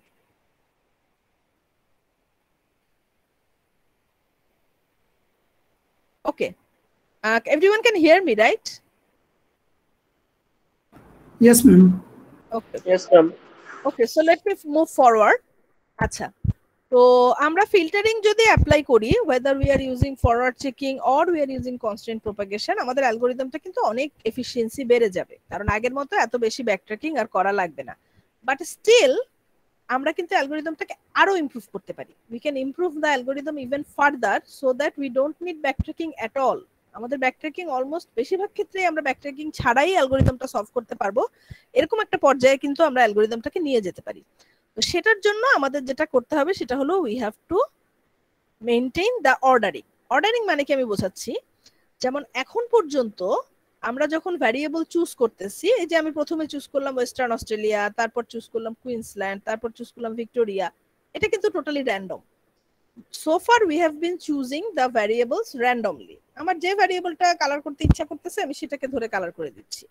But it shouldn't be like that আমি যদি একটু ইনফর্মড হিউরিস্টিক ইউজ করে একটু কেয়ারফুলি ভ্যারিয়েবল ভ্যারিয়েবলের অর্ডারিংটা করি, তার মানে কোন ভ্যারিয়েবলগুলো কোনটার পর কোনটা আমি চুজ করব, এটা যদি আমি একটু কেয়ারফুলি অর্ডারিং করি, তাহলে কিন্তু আমার অ্যালগোরিদমটার এফিসিয়েন্সি আরও অনেক বেড়ে যাবে। Same thing goes for the values যে দেখা গেল যে আমার একটা ভ্যারিয়েবল আছে ওই ভ্যারিয়েবলটাতে অ্যাসাইন করার জন্য আমার হাতে তিনটা ভ্যালু আছে রেড গ্রিন অ্যান্ড ব্লু তো আমি র্যান্ডমলি রেড অ্যাসাইন করে দিলাম। তো এটা না করে আমি যদি একটু কেয়ারফুলি চিন্তা করে ভ্যালুগুলো অ্যাসাইন করি, তাহলেও কিন্তু আমার অ্যালগোরিদমটার এফিসিয়েন্সি বেড়ে যাবে। সো দুইটা জিনিস আমার অর্ডারিং করা প্রয়োজন। একটা হচ্ছে which variable this are the two questions that I need to answer properly প্রথম কোয়েশ্চেনটা হচ্ছে হুইচ ভ্যারিয়েবল সেকেন্ড কোয়েশ্চেনটা হচ্ছে হুইচ ভ্যালু সো প্রথম কোশ্চেনটা হচ্ছে, আমি কোন ভ্যারিয়েবলটাকে নেক্সট চুজ করব? সেকেন্ড কোশ্চেনটা হচ্ছে ভ্যারিয়েবল চুজ করার পরে আমি কোন ভ্যালুটাকে ওই ভ্যারিয়েবলের জন্য চুজ করব? তো let's look at the heuristics we can use to answer this questions প্রথম যে হিউরিস্টিকটা আমরা দেখব, সেটার নাম হচ্ছে minimum remaining values heuristic minimum remaining values choose the variable with the fewest legal left values in its domain. Choose the variable with the fewest legal left values in its domain. তার মানে হচ্ছে, এটা কিন্তু common sense যে ভ্যারিয়েবলটার value সবচাইতে ছোট, সেটাকে তুমি সবার আগে চুজ করো। এখন এটা একদমই কমন সেন্স ধরো তোমার সামনে তিনটা বাস্কেট দেওয়া হয়েছে। একটা বাস্কেটে দশটা বল আছে, একটা বাস্কেটে সাতটা বল আছে আরেকটা বাস্কেটে দুইটা বল আছে। এখন তোমাকে বলা হলো, এই বাস্কেটগুলা থেকে তুমি বল পিক করবা, কিন্তু প্লিজ মেক শিওর যে বাস্কেটগুলো যেন এমটি না হয়। তোমাকে তিনটা বাস্কেট দেওয়া হয়েছে, একটাতে দশটা বল, একটাতে সাতটা বল, একটাতে দুইটা বল। এখন তোমাকে বলা হলো যে আচ্ছা না মেবি এই এক্সাম্পলটা একদম প্রপার হলো না। ওকে ফরগেট দ্য বাস্কেট আমি তোমাদের এই ম্যাপ কালারিং এর এক্সাম্পলটা দিয়ে বোঝাচ্ছি। So let me show you let's say আমরা এই স্টেপে আছি, যে ওয়েস্টার্ন অস্ট্রেলিয়াতে আমি রেড কালার অ্যাসাইন করেছি এবং এখন আমি নেক্সট চিন্তা করতেছি যে আমি এখন কোন ভ্যারিয়েবলে কালার অ্যাসাইন করব। তো আমরা কিন্তু এর পরের স্টেপে আমরা কুইন্সল্যান্ডে কালার অ্যাসাইন করেছিলাম। তো এখানে দেখো, যখন আমি ওয়েস্টার্ন অস্ট্রেলিয়াতে রেড কালার অ্যাসাইন করলাম নর্দার্ন টেরিটরির ডোমেইনে দুইটা ভ্যালু রিমেইনিং আছে সাউথ অস্ট্রেলিয়ার ডোমেইনে দুইটা ভ্যালু রিমেইনিং আছে কুইন্সল্যান্ড, এনএসডব্লিউ এবং ভিক্টোরিয়া। এই তিনটা ডোমেইনে তিনটা করে ভ্যালু রিমেইনিং আছে। আচ্ছা এখন আমার কোন কোন ভ্যারিয়েবলটা চুজ করা উচিত? বলো তো কোনটা চুজ করা উচিত?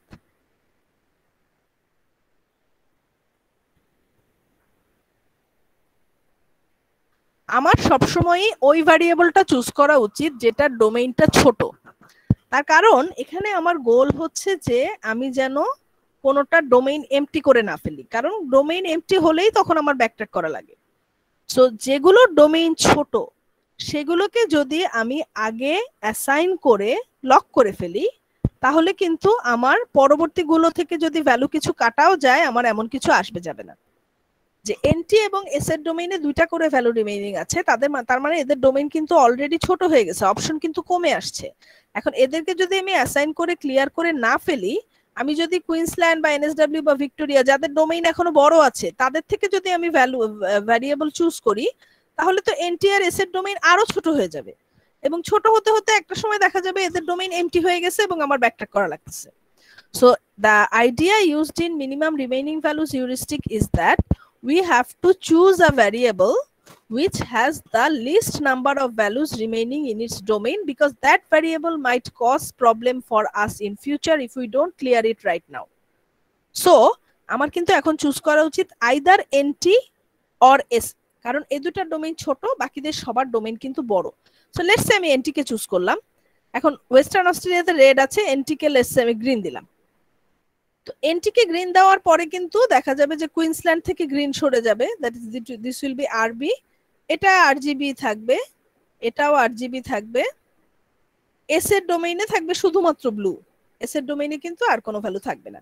তো এখন আমার এস এর ডোমেইনটা সবচেয়ে ছোট, শুধুমাত্র ব্লু আছে, আর কেউ নাই। সো নেক্সট আমি এস এতে ভ্যালু অ্যাসাইন করব। তাহলে এটা রেড হলো, এটা গ্রিন হলো, এটা ব্লু হলো, এবং আমি তারপর সামনের দিকে চলে যাব। I won't need backtracking at all আমি যদি মিনিমাম রিমেইনিং ভ্যালুজ হিউরিস্টিকটা ইউজ করি, আমার কিন্তু ব্যাকট্র্যাকিং টোটালি লাগতেছে না ম্যাপ কালারিং প্রবলেমের জন্য। তার কারণ হচ্ছে যে ভ্যারিয়েবলটার ডোমেইনের সাইজ সবচেয়ে ছোট, তাকে আমি পরবর্তী স্টেপে চুজ করে অ্যাসাইন করে ফেলতেছি। তো যেহেতু আমি সবসময় ছোট ডোমেইনের ভ্যারিয়েবল গুলোকে চুজ করে অ্যাসাইন করতেছি এবং বড়গুলোকে বাদ দিচ্ছি, তো বড়গুলো থেকে যদি ভ্যালু দুই একটা বাদও যায় ডোমেইন যদি আপডেটও হয় প্রবলেম তো হচ্ছে না। তোমার ডোমেইন এমটি তো হচ্ছে না। বাট আমি যদি ছোটগুলোকে ফেলে রাখি, এগুলোর ডোমেইন তো এমটি হয়ে যাবে। So that is the idea minimum remaining values heuristic মানে হচ্ছে প্রত্যেকটা স্টেপে যে ভ্যারিয়েবলগুলোর ডোমেইন ছোট তার মধ্যে থেকে আমি একজনকে অ্যাসাইনমেন্টের জন্য চুজ করব। আমি কখনোই বিগার ডোমেইনের ভ্যারিয়েবল গুলোকে চুজ করব না কারণ তারা সেফার যেগুলো ছোট সেগুলো riskier so I am going to clear them out first আমি কি বোঝাতে পারলাম? Is it clear to everyone Yes, ma'am. আচ্ছা এখন দেখো তাহলে আমি বুঝতে পারলাম যে যে ডোমেইনটা ছোট, সেটাকে আমি আগে অ্যাসাইন করব। So I got one idea I can use for which variable to choose next আমি একটা হিউরিস্টিক দেখলাম, যেটার নাম হচ্ছে মিনিমাম রিমেইনিং ভ্যালুজ হিউরিস্টিক অথবা এমআরভি হিউরিস্টিক এখন, একটা প্রবলেম কিন্তু তারপরও থেকে যায়। প্রবলেমটা হচ্ছে এরকম যে, যদি টাই হয়, তখন আমি কি করব? যেমন এই স্টেপে কিন্তু টাই ছিল। নর্দার্ন টেরিটরি এবং সাউথ অস্ট্রেলিয়ার মধ্যে টাই দুটার ডোমেইনেই কিন্তু দুটা করে ভ্যালু রিমেইনিং আছে। তো আমি কি নর্দার্ন টেরিটরিকে চুজ করব নাকি আমি সাউথ অস্ট্রেলিয়াকে চুজ করব?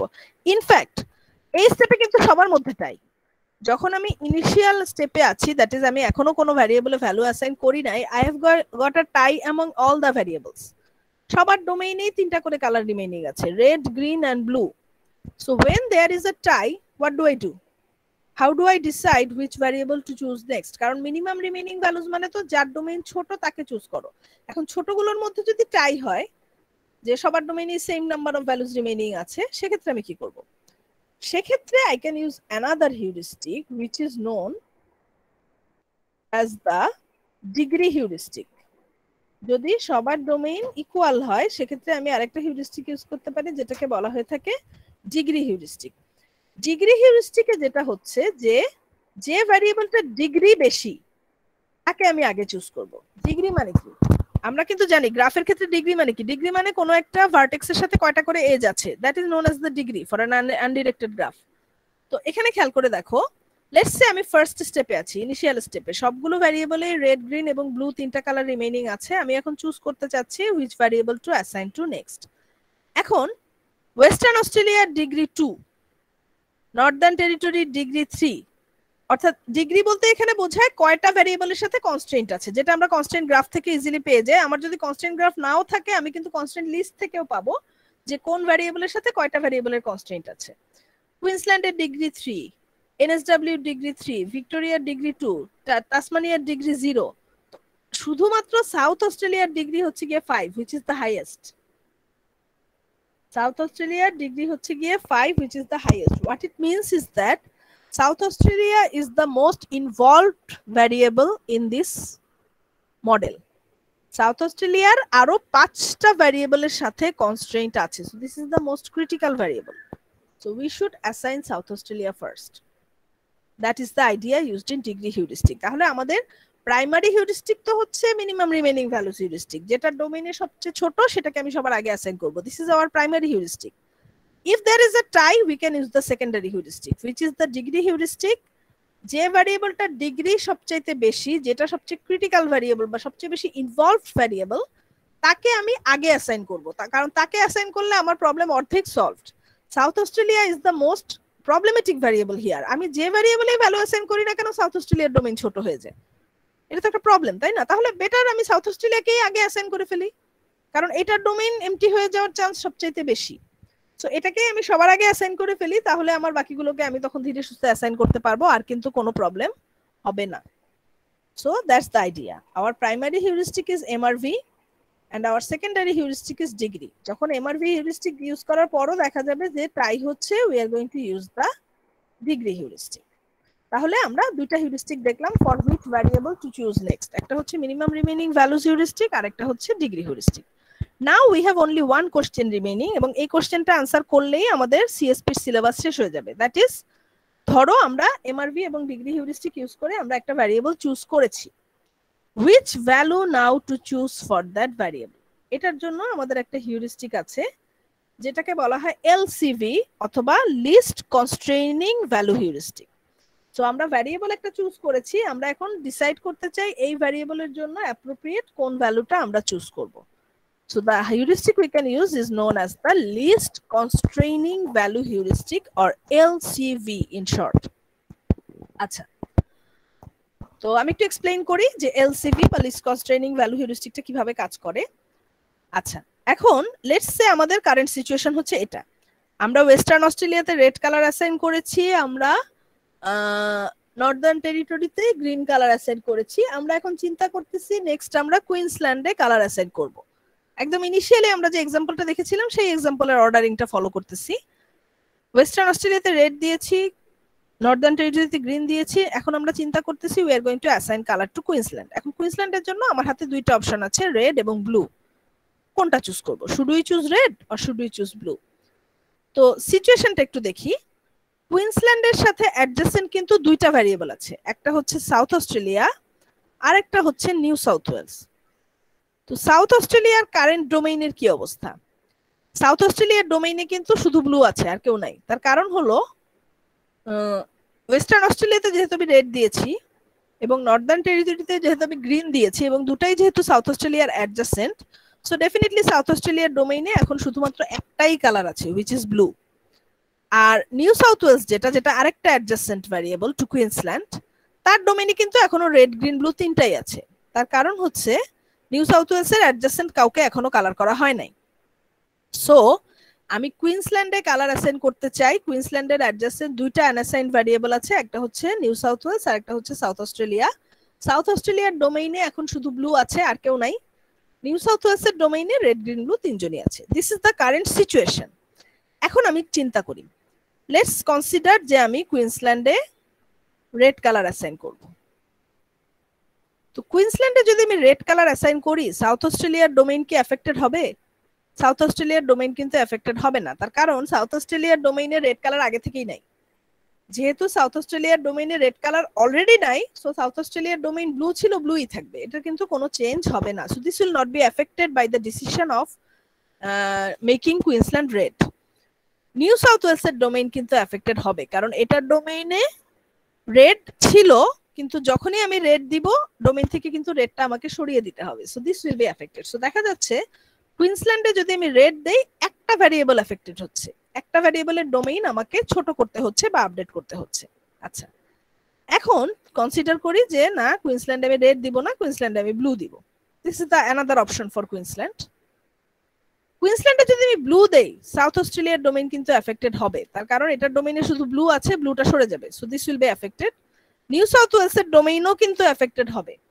Because it, it also contains blue so দুটার ডোমেইন থেকেই কিন্তু ব্লু রিমুভ হবে। So how many variables are being affected two variables are being affected so definitely I should choose Queensland equal to red. এটাই হচ্ছে list constraining value heuristic যে যখন আমার একটা ভ্যারিয়েবলে ভ্যালু অ্যাসাইন করার সময় দেখা যাবে আইভ গট মাল্টিপল অপশনস তখন আমি একটু চিন্তা করে দেখব যে কোন অপশনটা নিলে আশেপাশের আনঅ্যাসাইন্ড ভ্যারিয়েবলগুলো সবচেয়ে কম কনস্ট্রেইনড হচ্ছে? কোন অপশনটা নিলে আশেপাশের আনঅ্যাসাইন্ড ভ্যারিয়েবলগুলো সবচেয়ে কম কনস্ট্রেইনড হচ্ছে? এটা আমাকে কনসিডার করতে হবে। দেখা যাচ্ছে কুইন্সল্যান্ড ইকুয়াল টু রেড যদি আমি নেই, তাহলে একটা ভ্যারিয়েবল কনস্ট্রেইনড হচ্ছে, বা একটা ভ্যারিয়েবলের ডোমেইন আপডেট হচ্ছে। কুইন্সল্যান্ড ইকুয়াল টু ব্লু যদি আমি নেই, তাহলে কিন্তু দুটা ভ্যারিয়েবলের ডোমেইনই আমাকে আপডেট করতে হচ্ছে। So definitely red is the better choice কারণ এটা মাত্র একটা ভ্যারিয়েবলকে এফেক্ট করবে, আর ব্লু নিলে আমার কিন্তু দুটা ভ্যারিয়েবলই এফেক্টেড হবে। So I should always choose the value which will affect the least number of unassigned variables this is known as the least constraining value heuristic is it clear to everyone Is it clear? Ji ma'am. Okay, so if you still have any issue or if you still have any confusion, please go through the textbook.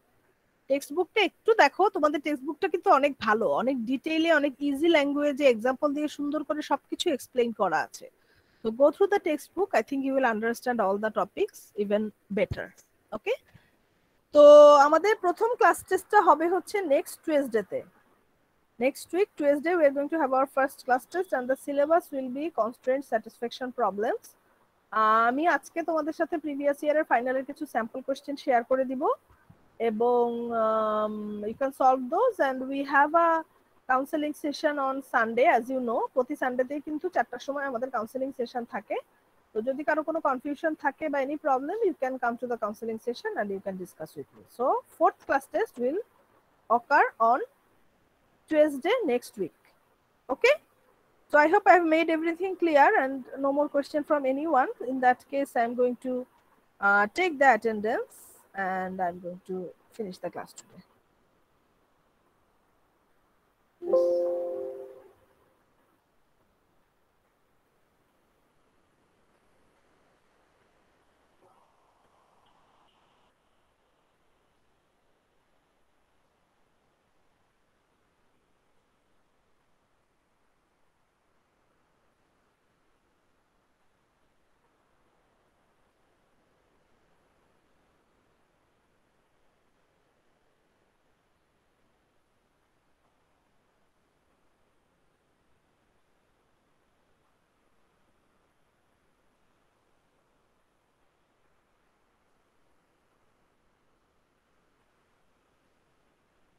Badrul Amin? Yes ma'am আচ্ছা আমি তোমাকে গতকাল একটা email দিয়েছিলাম তুমি reply দাও নাই।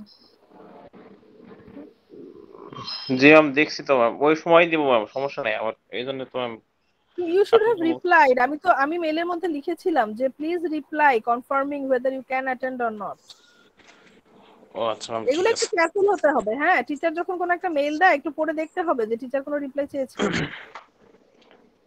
ঠিক আছে okay Enamul Haque present ma'am Rokunuzzaman Khan Samia Halim present ma'am Priyabratanath yes miss Rahat Zaman Jahara Islam Bhuiya yes ma'am Dihan Pathan present ma'am Ohidul Haque present ma'am Miraj Faruk Yes, ma'am. Ashikul Haque present miss Alid Hasan Yes, ma'am. Rabius Sunny Yes, ma'am. Sajib Mia Present, ma'am. Shafiul Bari Present, ma'am. Nafisa Akter Present, ma'am. Sumaiya Haque Sumaiya Haque Moumi Kabir. Present, ma'am. Sadia Zaman. Present, ma'am. Ishtiaq Ahmed. Present ma'am. Khandakar Zahidul Islam. Khandakar Zahidul Islam. Khushnuma Tahfuz. Fazila Nabi. Joyshree Acharya. Juairia Manik Hossain. Yes ma'am Saleh Akram. Present ma'am Arifin. Present ma'am Amanna Nawar. Yes please Hasan Shaon. Yes ma'am Naimul Karim. Yes ma'am Muhibal Hasan. Yes ma'am Ashikur Rahman. Present ma'am Abdullah Mamun. Sayed Hossain yes ma'am Millat Hossain Present, ma'am. Shahporan Rifat Yes, ma'am. Zohra Tanjin Yes, ma'am. Mustahidul Islam Yes, ma'am. Tahlil Azim Present, ma'am. Surya Poddar Yes, ma'am. Zubair Hossain Abir Chowdhury yes ma'am ma'am Zubair Hossain ছিল Siam Hossain. Present ma'am. Zobair Rahman. Yes ma'am Swapnil Biswas. Yes ma'am Shakil Ahmed. Ma'am Animul Hasan. Anamul Hasan. Roma Hossain. Present ma'am. Ahmed Shabab. Present ma'am. Ma'am Enamul Hasan আছে। Ma'am Rokonuzzaman ma'am ma'am Sumaiya Haque okay okay anyone else Khandaker Zahidul ma'am Islam Siam Sarkar আমার তো absent ছিল না কখনো। কালকে কি present কি দেওয়া হয় নাই আমারটা? Siam Siam madam Joyshree present chat box দিয়েছিলাম। আচ্ছা সিয়াম আমি তোমার অ্যাটেন্ডেন্স দিয়ে দিব কালকেরটা মিস আমার নামটা ডেকেছেন? মানে ইন্টারনেট ঝামেলা করছিল তো। কি নাম? মিম টোয়েন্টি ফাজিয়া নবী চৌধুরী। হ্যাঁ হ্যাঁ ডেকেছিলাম। টোয়েন্টি থ্রি ঠিক আছে জি, দিচ্ছি ঠিক আছে দিয়ে দিচ্ছি। জি ম্যাম থ্যাংক ইউ আর কেউ? Okay thank you very much everyone I see you in the next class ma'am আমাদের মেকআপ লিস্ট তাহলে বারো তারিখ হচ্ছে। বারো তারিখ বিকাল চারটায়। Okay ma'am thank you ma'am ma'am আমাদের ক্লাস টেস্ট কি ক- কবে হবে ম্যাম নেক্সট টুয়েসডে ওকে